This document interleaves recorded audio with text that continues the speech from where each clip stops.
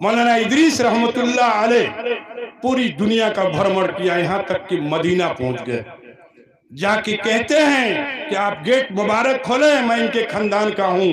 कहा कि ऐसे ही खुल जाई। ऐसे ना खुली, देख ले मुर्शिद भी वहाँ देख रहे क्या कर रहा है। तुम वहाँ के बड़ो यहाँ ही वो। देखे उसके बाद जो है पंद्रह दिन जीने पर बैठे रहे मेरे भाई। पंद्रहवा दिन अपने से गेट मुबारक खुला। अंदर से आवाज़ आई, बेटे इदरीस, इधर आओ। जाते हैं करीब।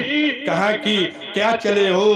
कहा कि हाँ मैं मुर्शिद तलाश करते करते यहाँ आ गया उनके मुर्शिदे न रहो कि दुनिया में आदमी न रहो लेकिन नहीं देख लें, उसके बाद जो है, कहा कि हाँ तुम्हारा मुर्शिद तो बागमारी में